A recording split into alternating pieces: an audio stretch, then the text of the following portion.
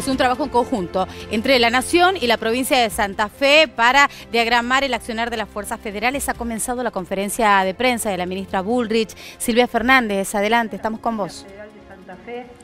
Muchísimas gracias. La ministra de Seguridad, Patricia Burrich, acaba de señalar que en Santa Fe durante 2017 se registró una de las tasas más bajas en homicidios. Según indicó, se redujo la cantidad de homicidios en un 28,2%, pero aclaró, sin embargo, que a fines de 2017 y comienzos de este 2018 se incrementó el accionar de bandas narcocriminales con delitos que terminan en asesinato, en homicidios. De esta manera está relatando qué es lo que dialogaron durante casi una hora con el gobernador de la provincia de Santa Fe, Miguel Lifchis. Para poder tener una respuesta mucho más rápida para el desarmado de los búnkers de narcomenudeo, los tenemos totalmente georreferenciados, eh, tenemos muchas denuncias, sabemos dónde están y por eso necesitamos rapidez. ¿Por qué rapidez?